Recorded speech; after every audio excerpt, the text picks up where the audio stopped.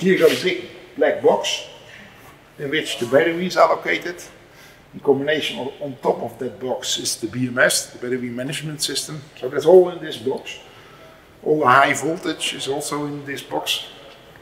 You have not real high voltage, we got 60, uh, below 60 volt.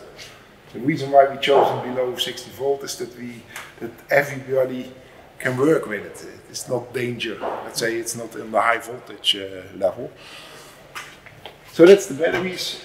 Then we got here the wheel hub motors in the wheels. One on the left, one on the right. And in order to make it tilt automatically, we've got here a gear, bended gear track with a tilt motor in the center. So the batteries are located in this black box, 16 cells, just below 60 volt.